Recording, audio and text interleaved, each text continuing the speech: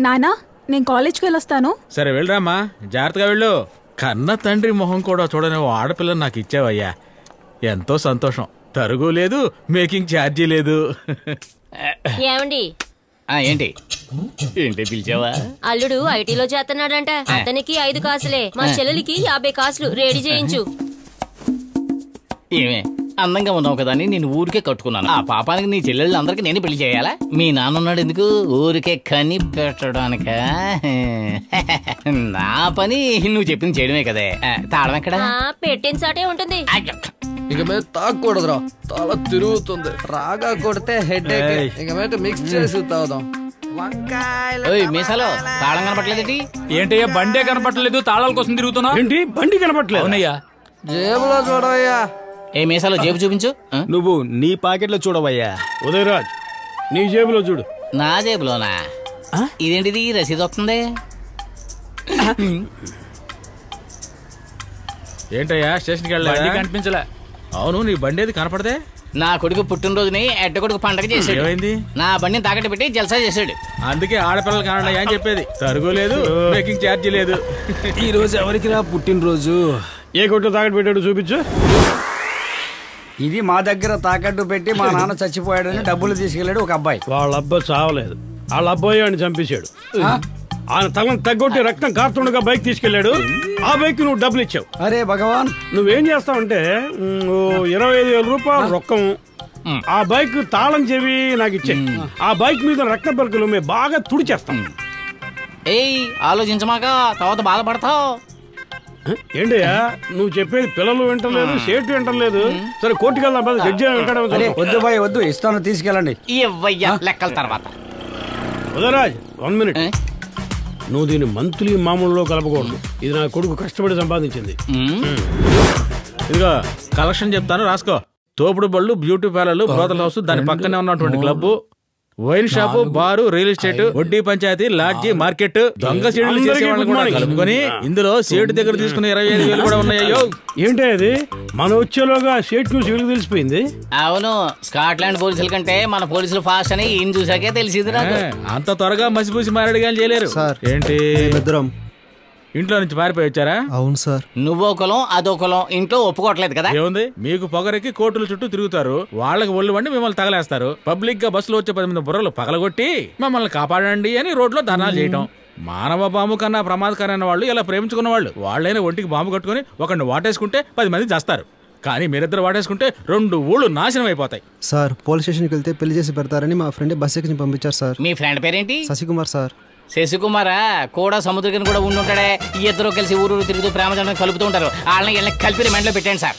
డబ్బులు ఎంత తెచ్చుకున్నారా రెండు రూపాయలు. తొందరగా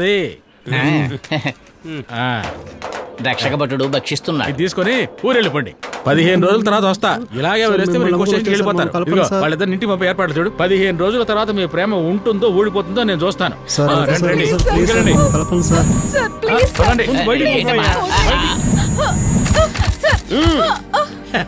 ఒకటి చెప్పనా నీకు? మనం నలుగురు కలిసి ప్రేమతో రెడగొట్టినందుకు మనకు మనమే సెటిల్ చేసుకోవాలి. నేను చేసింది నాకు కర్తవ్యమే. దేన్ని కర్తవ్యం అంటున్నారు? కమిషన్ తీసుకున్నాడు కదా దాని గురించి. సరే కానీ ఈ ముందు వసూళ్ళు ఎంత చాలా డల్గా ఉంది. అవును అయితే ఈ కొంచెం మంత్. మనం నమ్మితే నారాయణనే నమ్ముకోలేమో మరి.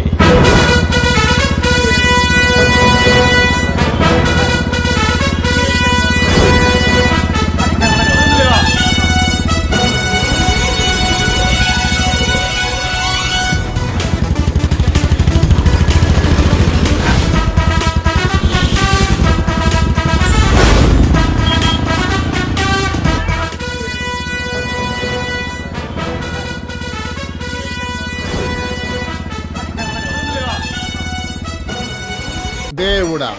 అందరి జీవితాలు నీ చేతుల్లోనే ఉన్నాయి. నా జీవితం ఏమో ఈ పోలీస్ స్టేషన్ నమ్ముకునే ఉంది. పోలీస్ స్టేషన్ ఆయన మహా.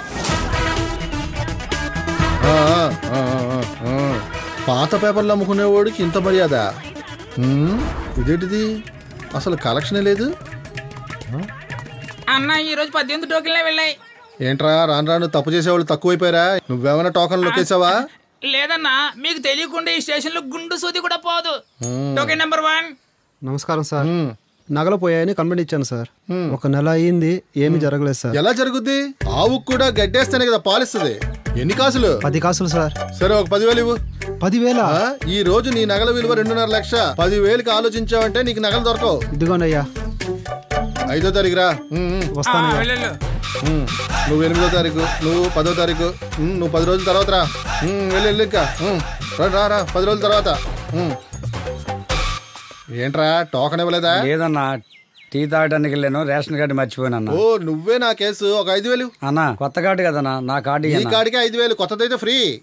అన్నా ఏంటన్నా ఉచిత న్యాయ సలహాలని బోర్డు పెట్టిన డబ్బులు అడుగుతాయండి బోర్డే ఉచితం నేను ఉచితం కాదు. ఒక నెలకి బియ్యం ఉప్పు పప్పు అన్ని కలిపితే ఎంత కొంటావు నువ్వు? వెయ్యి రూపాయలన్నా. బయట కొంటా ఎంత? ఎనిమిది వేలన్నా. రెండు నెలలకి. పదహారు వేలు అవుతుందన్నా. మరి నేను ఐదు వేలే కదా అడిగింది. ఈ చేతిలో కాడు ఆ చేతిలో డబ్బు. కాడు కావాలా వద్దా? కావాలన్నా. డబ్బులు ఇవ్వు. నీకు ఫ్రీగా ఇస్తే దాని వాల్యూ తెలియదురా అందుకే డబ్బులు తీసుకొని ఇవ్వడం. తీసుకో. వెళ్ళి వెళ్ళి ఇంకా.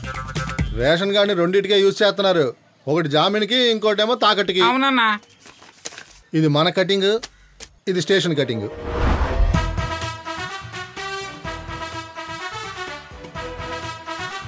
రావయ్యా పైసా వసూలు చక్రవర్తి. నీకోసమే చాలాసేపటి నుంచి వెయిటింగ్ మనకి ఎంత వచ్చినా సరిపోదు. కలెక్షన్ మాత్రమే కాదు కేసులు కూడా చూడండి ఎన్ని పెండింగ్లో ఉన్నాయి తెలుసా? పబ్లిక్ కేసులను పెండింగ్ పెట్టడమే నీకోసం నీ కేసు పెండింగ్ పెడితే మాకు వసూలు రాదు కదా. ఇలాగే చెప్పండి డబ్బులే మూవ్ అవుతున్నాయి కేసులు ఎక్కడ మూవ్ అవుతున్నాయి? సరే ఆ సంగతి వదిలే రెండు బైకులు దొంగిలిస్తే మూడు బైకులు అడుగుతుండు గురు. నమస్తే. నమస్కారం నమస్కారం. ఏయ్ ఈ నెల కేసు నువ్వేనా? నన్ను దాటేగా వచ్చుంటావు ఒక మాట చెప్పుండొచ్చుగా. విడిపించేవాడిగా ఆడి కేసు వదిలేవయ్యా నువ్వు డబ్బులు తీవయ్యా ఆ, కలెక్షన్ మీదే దృష్టి అంతా ఎంత డబ్బు తీసుకున్నా మీ తల మీద జుట్టు మాలవదు. ఆ, బాగా వెయిట్ గానే ఉంది. డ్యూటీ చేసే లక్షణం చూడు. నిద్రపోవడానికి జీతమును లంచమును. ఏం చేయమంటారు? తట్టి లేపు తట్టి లేపు. అయ్యా. నువ్వా పోలీస్ స్టేషన్ కూడా నన్ను ప్రశాంతంగా నిద్రపోనేవరా కూరక పెట్టినా డ్యూటీలో గ్రేటే. ఇంట్లో ఏంటి? నైట్ డ్యూటీయా అక్కడ రిటైర్డ్ అయ్యి ఆరేడు ఏళ్ళు అయిందయ్యా. ఆ కడుపు మంటతోనే ఇక్కడ ఇట్టా నెట్టుకొస్తా ఉన్నా. మరెందుకు చింతామణి ఇంటికి వెళ్తున్నావు? జాగ్రత్తగా చూసుకో. షణ్ముఖ కుమార స్వామినే నమ ఈశ్వర పుత్రాయ నమ సుబ్రహ్మణ్య స్వామినే నమ. కమిషన్లు బాగా రావాలోయ నమ. గల్లా పెట్టి నిండాలోయ నమ. షణ్ముఖ. ఆ, ఆ పూజలు చేయటం చాలే మా నాన్న వాళ్ళ ఇంటి దగ్గర ఐదు గ్రౌండ్ స్థలం చెప్పాను కదా అది ఎప్పుడు కొంటారు? కొనండి కొనండి అంటూ మొత్తం నీ నా చేతి కొరిమి చేసి నా బొచ్చంతా పోగొట్టేశావు కదే. ఇంకేం కొనమంటావు? కొంటానులే. ఏవండి ఏంటండి? ఆ హృదయరాజు వాళ్ళ పెళ్ళాం పేరున ఇరవై గ్రౌండ్ స్థలం కొన్నారంటండి. ఆయన ఒట్టి పోలీసే. మీరు హెడ్ కదా ఆయన ఒక్క సంవత్సరం సర్వీస్ ఉన్నందుకే అన్ని స్థలాలు కొన్నాడే. మూడేళ్ళు సర్వీస్ ఉన్న మీరు. ఒక్క గ్రౌండ్ కూడా కొనకపోతే ఎలాగండి? వెంటనే కొనండి. నువ్వు నా పక్కకి రాగానే నేను బొక్క బోర్లా పడిపోతున్నానే.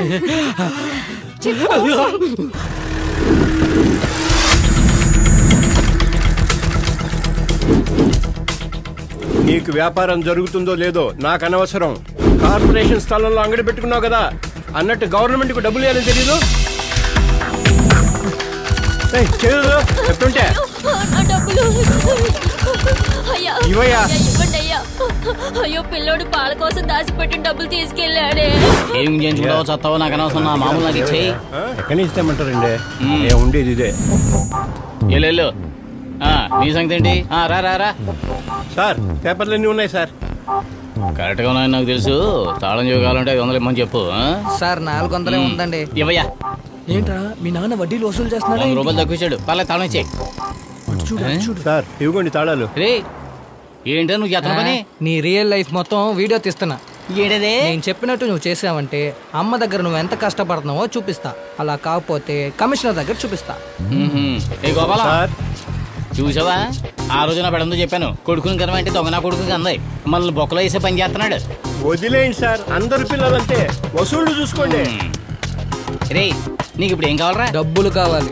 పది పైసలు ఇవ్వను. పోరా ఇక్కడి నుంచి. కన్న కొడుక్కి అబద్ధాలు చెప్పొద్దయ్యా. ఇవాళ ఎంత కలెక్షన్ నాకు తెలుసు. నా వాటా నాకు ఇవ్వు. వాటానా? ఇదేమన్నా నీ తాత ఆస్తా? ఒక గంట సేపు ఇక్కడ నిలబడి చూడు. అధికారమంట తలకెక్కుద్ది. దొడ్డుకెళ్ళేటప్పుడు మొక్కాలే. అప్పుడు తెలుస్తుంది నొప్పి? ఎక్కడ చూస్తున్నాడు? ఏంటో చూస్తున్నావు? వాళ్ళకే మాకు పెద్ద తేడా లేదు. వాళ్ళు బండి ఆగాక అడుక్కుంటారు. మేము బండిని ఆపి అడుక్కుంటాం ఒక తేడా ఉందే. ఏంటి? వాళ్ళు యూనిఫామ్ వేసుకోకుండా అడుక్కుంటారు నువ్వు వేసుకుని అడుక్కుంటున్నావు తప్పు చేశాను రా నేను కని తప్పు చేశాను. ఇరవై ఏళ్ళ క్రితం ఆలోచించాలి. రేపు నా బర్త్డే ట్వంటీ వన్ కమింగ్. అందుకే డబ్బులు అడుగుతున్నా. రే పుట్టినరోజు ఖర్చు పెట్టాలంటే కష్టపడి పని చేసి ఖర్చు పెట్టుకోవాలరా. ఇది మానేసి అబ్బసొత్తు కాసి పెడతావేంట్రా? ఒక్క విషయం చెబుతున్నాను ఇనుకోరా. నేను ఈ యూనిఫామ్ వేసుకున్నంత వరకే నీకు మర్యాద. నేను ఇది ఇప్పేశానే అనుకో. ఒక్క కుక్క కూడా నీకు మర్యాద ఇవ్వదు. జాగ్రత్త తెలుసుకో. నువ్వు బాగుపడవు. నీచుడా నీ ఒంట్లో ఉంది రక్తమా? లేక మురికాలవ నీళ్ళ? నీ మొహం నాకు చూపించకరా యదవా? ఇంత దారుణంగా తిట్టుంటాడే నీ బాబు. ఎలారా? మరి ఇంకేంట్రా? తెలుగు భాషలో కూడా తప్పులుండొచ్చు. కానీ తరతరాలుగా తండ్రి భాషలో ఉండేది ఇదే కదా కాకుంటే పేర్లలో రూపాల్లో మాత్రమే మార్పులుంటాయి అంతే. ఈ నాన్నలే ఎంతరా విశ్వాసం లేనోళ్ళు. వాళ్ళు అబ్బలు లేకుండా పుట్టారా ఏంటి? మనమే కదా ప్రమోషన్ ఇచ్చింది. మనం గనక పుట్టకపోయింటే సందులో సందడే. రేయ్ అందరి నాన్నలు కొడుకులకి ఫ్రెండ్స్గా ఉన్నారనే అనుకో. మనమందరం ఫ్రెండ్స్గా ఉండడం అర్థమే లేకుండా పోతుంది. వాళ్ళు అలా ఉండబట్టారా మనం ఇలా ఉన్నాం? మందు కొట్టే టైంలో తండ్రుల గురించి ఎందుకురా? ముందు విడి బర్త్డే సెలబ్రేట్ చేద్దాం. సరే బర్త్డే బేబీ ఆ కీస్ ఇలా ఇవ్వు. ఎందుకు మనకి పుట్టిందే తాగడానికి. అలాంటిది పుట్టినరోజు తాకుండా ఉంటామా? ఇక్కడే వెయిట్ చేయండి నేను బుడ్డి పాలతో వస్తాను.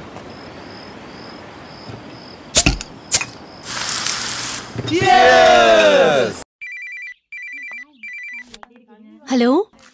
నమస్కారం అండి. నేనే మనోహర్ని. మనోహర? ఓ మీరా? ఏం లేదు మా క్వార్టర్స్లో ఒక ముఖ్యమైన ఈవెంట్ వచ్చింది. అది మీ చేతుల మీదుగానే జరగాలి. చేసేద్దామే. అది చేయడమే నా పని. ఒక ఐదు వందల మంది కూర్చునేలాగా చైర్స్ ఐదు వందల స్క్వేర్ ఫీట్స్లో బంతి ఐదు వందల మందికి టీ కాఫీ భోజనాలు ఇవన్నీ మీరే ఏర్పాటు చేయాలి. చేసేద్దాం మరి. అవును ఎంత టైం పడుతుంది? మీరు చెప్పిన ఐటమ్స్ అన్ని అరేంజ్ చేసి పంపించడానికి ఒక వన్ అండ్ హాఫ్ అవర్ పడుతుందండి. పర్వాలేదు పర్వాలేదు. మీరు వస్తారు కదా? తప్పకుండా నేను రాకుండానా? ఓకే రండి. అడ్రస్ నేను ఎస్ఎంఎస్ చేస్తాను. చాలా థ్యాంక్స్ అండి. రే రే రే రే త్వరగా రా. ముందు ఆ చైర్స్ అన్ని తీ. ఆ, బండి తీసుకురా.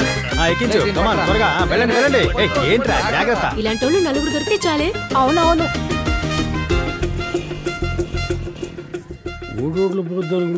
ఎక్స్క్యూజ్ మీ హాయ్ వీళ్ళకి వేరే పనే లేదురా. మీరు వెళ్ళండి అన్న నేను చూసుకుంటాను. రావయ్యా, నమస్కారం అండి. వీళ్ళంతా మీ ఫ్రెండ్సా యా. అదృష్టం కొద్దీ మీరు వచ్చారండి. రారనుకుని చాలా భయపడ్డాను తెలుసా? ఏయ్ ఏంట్రా డప్పు కొట్టడం? ఇలా ఇవ్వరా?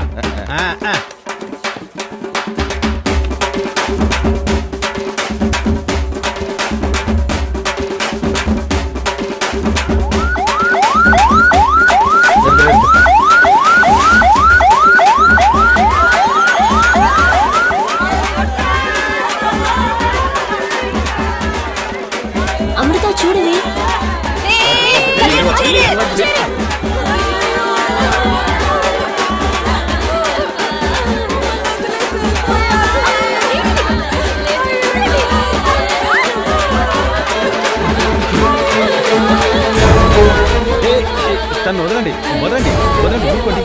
మీరు రండి మీరు రండి ఏంటండి? అమృత? అయ్యామండి ఆగండి ఎందుకలా రావడం పొరపాటు అయిపోయింది అయ్యో నన్ను నమ్మి ఏమైనా ఇంటి నుంచి పారిపోయి వచ్చారా? మాట్లాడుకో యువర్ చీట్ ఈవెంట్ మేనేజ్మెంట్ అంటే ఏంటో తెలుసా నీకు? రోడ్లు పోకరీలా తిరిగే నీకు ఈవెంట్ గురించి ఏం తెలుసు? ఆ రోజేమో రోడ్లో గొడవ చేసావు ఈ రోజేమో ఇంటికి పిలిచి ఇన్సల్ట్ చేసావు నీకు పని లేకపోతే నా ప్రొఫెషన్ ఎందుకు చులకన చేస్తావు? ఇందులో ఏమిటండి చులకన? లైఫ్లో జరిగే ప్రతి విషయం ఈవెంటే. లైఫే ఒక ఈవెంట్ అండి. మీరే మంచి చెడు అని చెప్పి విడదీస్తున్నారు. మీ విజిటింగ్ కార్డులో ఇది చేస్తాను ఇది చేయనని ఏమైనా రాసిందా? సంతోషంగా నవ్వే వాళ్ళ పక్కన నిలబడి నవ్వడం పెద్ద విషయం కాదండి. ఏడ్చే వాళ్ళ పక్కన నిలబడి వాళ్ళని ఓదార్చడమే గొప్ప.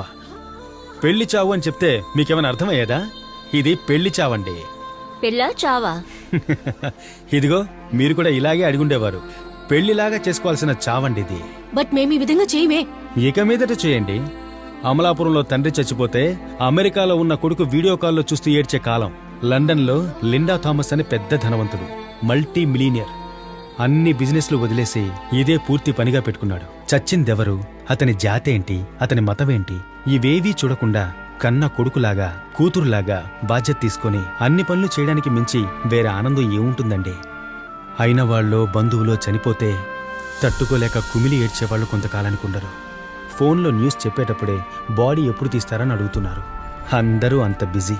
ఇంకా కొంతకాలానికి మీలాగా ఈవెంట్ చేసే వాళ్ళంతా ఈ కార్యం దగ్గర నుంచి అస్థికలు కలిపేదాకా అన్నీ చేయాల్సి ఉంటుందండి. అందుకే ఇప్పుడే అప్డేట్ అయిపోండి.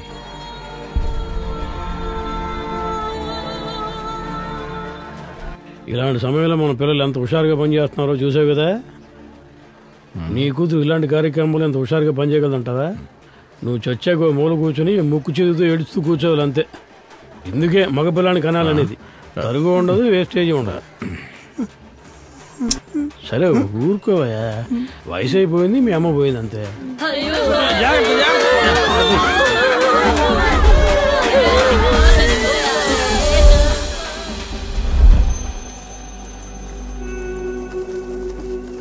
చాలా సంతోషం తండ్రి. మీ ఫ్రెండ్ నాయనమ్మ చనిపోతే మీ నాయనమ్మ చనిపోయినట్లు అనుకుని అంత్యక్రియలు బాగా జరిపించావు నాయన. చాలా సంతోషం.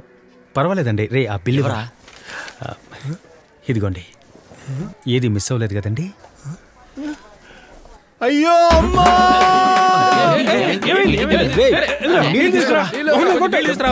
ఉన్నటువంటి పడిపోయాడు? లేవండి అంకల్.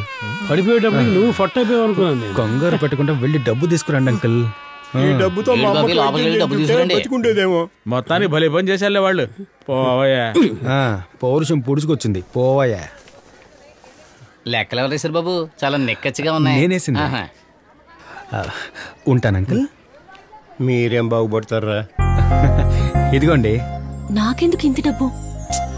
నేనే తక్కువగా ఇస్తున్నానని ఫీల్ అవుతుంటే ఏమిటండి? ఇదిగో తీసుకోండి. తీసుకోండి. ఆ కరెక్ట్గా ఉందో లేదో లెక్క చూడండి. ఆ, మనం బిజినెస్ పార్ట్నర్స్ కాబోతున్నాం. మన మధ్య ఏంటండి ఇదంతా? మీరు మీ ఫ్రెండ్స్ వర్క్ చేసినందుకు నాకెందుకంటే డబ్బు ఇస్తున్నారు? కావాలంటే పంపించిన థింగ్స్కి మాత్రం డబ్బు ఇవ్వండి.